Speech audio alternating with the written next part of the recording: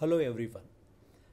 This is Vishwanath Chavan, Assistant Professor, Department of Computer Science and Engineering, Walchand Institute of Technology, Solapur. Now I am here to explain the asynchronous and synchronous pipeline models.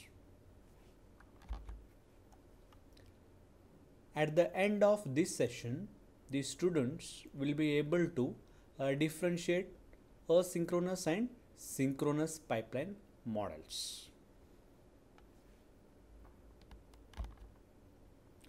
So here we will focus on linear pipeline processor.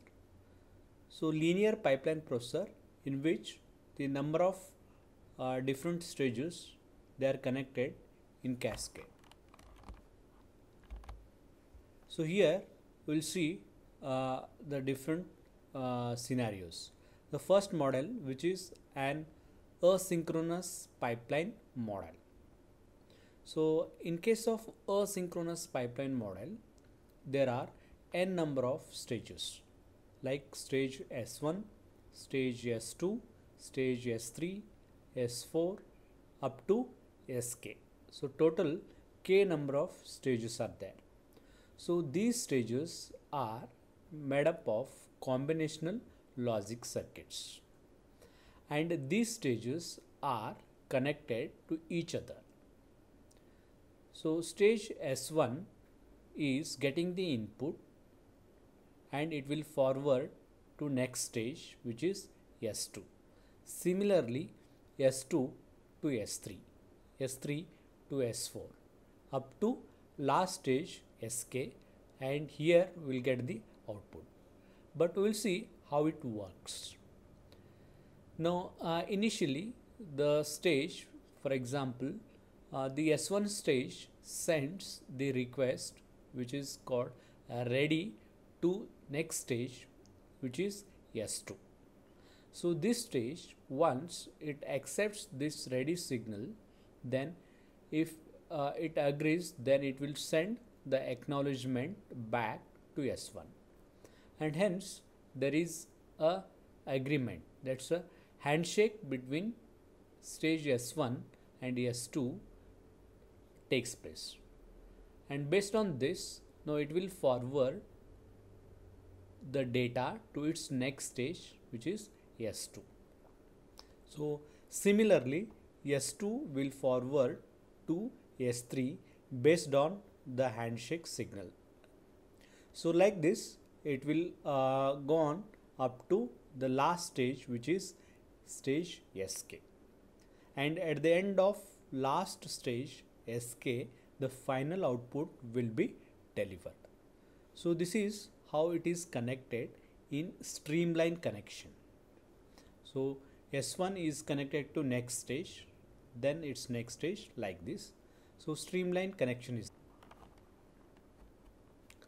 So next model will focus on synchronous pipeline model. So here also we uh, find the k number of stages.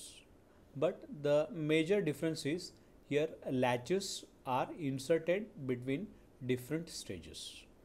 So these stages are made up of combinational circuits and each latch is going to uh, act as a buffer. So it will pick the data from its previous stage and it will store here.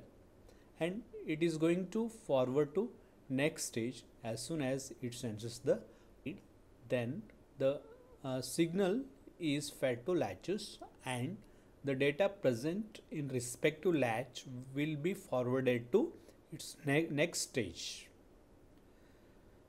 So uh, this is happening at the same time. So ideally all latches they are going to sense the pulse at the same time. But practically there is a slight difference in sensing the pulses. So that difference we represent it as a small s which is offset. Now here the one clock pulse is represented as tau. So tau indicates total time taken to complete one clock pulse but this clock pulse is divided into two parts. One is tau m and another is small d. This tau m indicates this is the uh, delay, delay of stage and d indicates delay in latch. So delay in latch plus delay in stage forms the total cycle which is called tau. So this is how the synchronous model works. So this is uh, a reservation table for a four stage linear pipeline. So along x-axis we'll find the time, time slot T1, T2, T3, T4 and along y-axis we'll find the different stages S1, S2, S3, S4. So this X indicates that the stage S1 is active during time slot T1. After that the next stage will be active in time slot T2. Then next S3 will be active in time slot T3. Then S4 in T4 like this.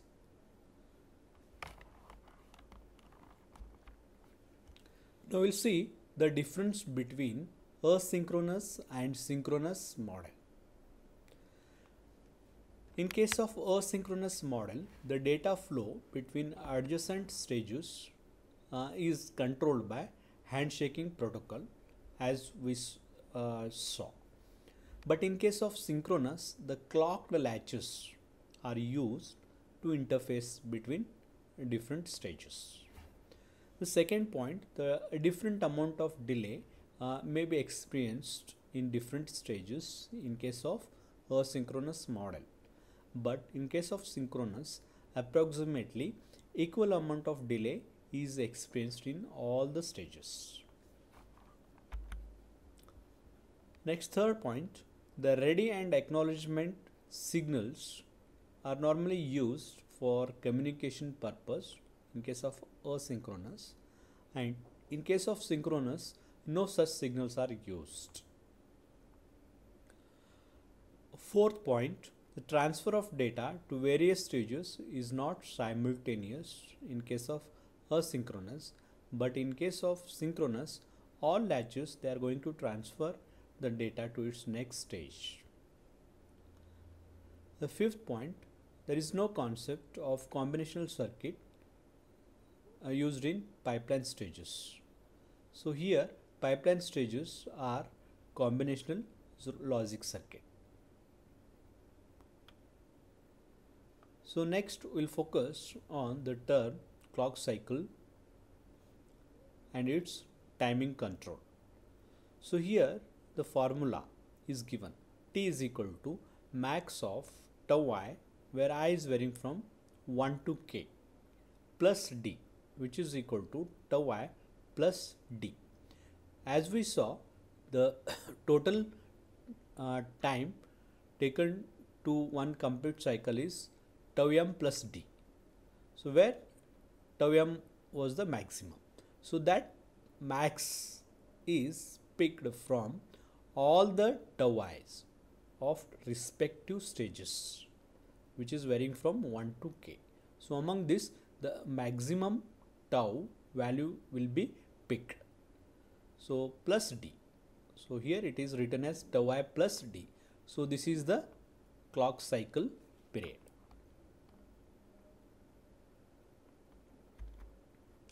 So we'll focus on the next term which is clock skewing. So as we saw the small s which indicates that this is the offset value uh, once the pulse is applied to respective latches it won't sense at the same time practically. So that difference is denoted by small s. So normally that value we call it as skewing so this uh, tau value is selected in such a way that it should uh, be in this range. For example tau should be less than or equal to the latch delay plus the stage delay. Stage delay which is tau max plus s. And this tau value should be less than or is equal to tau m plus d t minus s. This is uh, t minus t minus s it indicates that this is the latch delay so this latch delay minimum t value minus skew will be taken plus tau m. So normally the tau is selected in this range. So think about this question. Uh, in which of the following mode different amount of delay may be experienced in different stages. Pause this video and write your answer. I hope you have written the answer. The answer is asynchronous model. So next speedup efficiency and throughput. So normally the linear pipeline which is having k stages and n tasks which requires k plus n minus 1 clock cycles. So k plus n minus 1 into t that in, uh, gives the total time taken to execute all the instructions. So that is tk. Similarly in case of non-linear pipeline, so k number of stages takes uh, performs the task and uh, if there are n number of tasks so it will be total nk into t will be your time taken to complete all the instructions so the ratio of this t1 and tk that is non-linear to linear gives your speedup factor which is nk divided by k plus n minus 1 so these are the references